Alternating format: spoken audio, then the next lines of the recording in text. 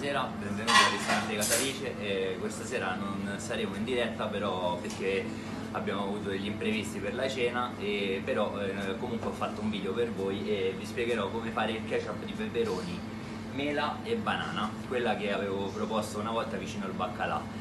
Allora, adesso vi spiegherò appunto come fare questo ketchup. Andrete a prendere dei peperoni rossi, io adesso ne ho usati tre, eh, cioè sono due, però l'altra metà l'ho tolta perché è verde, ho aggiunto un pomodoro in più. Quindi userete dei due peperoni rossi, andrete a tagliarli a pezzetti, così, toglierete la parte bianca e tutti i semi in eccesso. Proprio così. Dopodiché comincerete a tagliare i peperoni vieni Marco. Nel frattempo dentro la padella ho messo semplicemente un po' di olio a scaldare. I pezzi potranno essere tagliati molto grossolani perché avranno bisogno di un bel ovviamente più piccoli li fate più veloce sarà la cottura però a noi non ci interessa perché in questo caso non abbiamo fretta e li facciamo un po' più grandi. Quindi cipolla peperoni mela. Pure dalla mela togliete il torsolo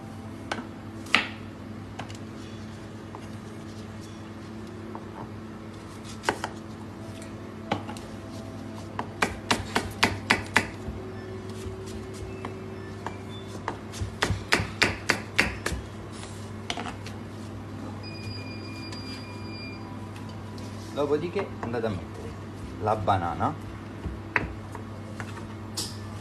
e tre pomodori a, a grappolo. Anche questi tagliati molto grossolanamente.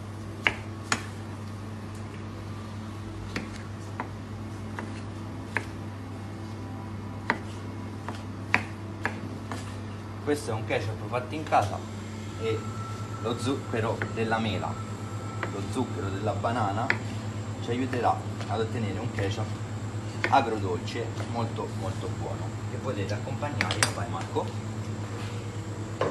Un po' con tutte le salse.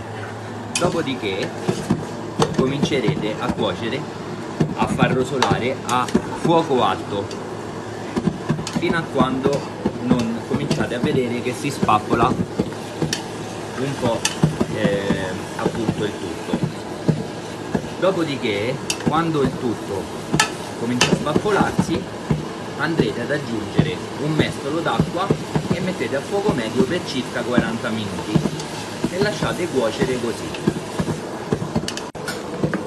A, questo punto vedete la, il tutto si sta spappolando piano piano quindi adesso andremo ad aggiungere un po' d'acqua metteremo a fuoco basso faremo cuocere appunto per mezz'ora 40 minuti.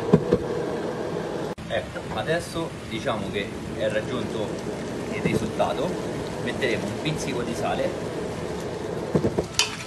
spegneremo il fuoco e passeremo all'ultimo procedimento. Andremo a mettere tutto dentro il frullatore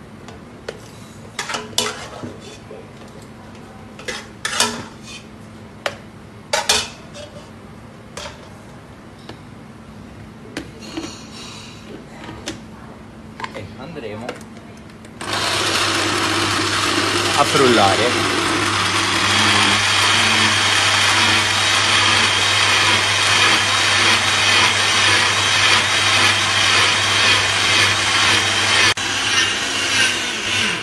Ok adesso il tutto è frullato e lo andremo a passare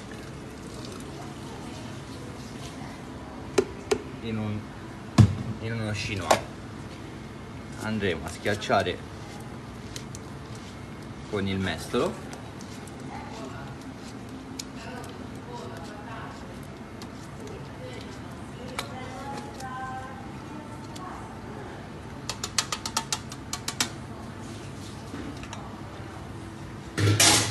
E il ketchup è pronto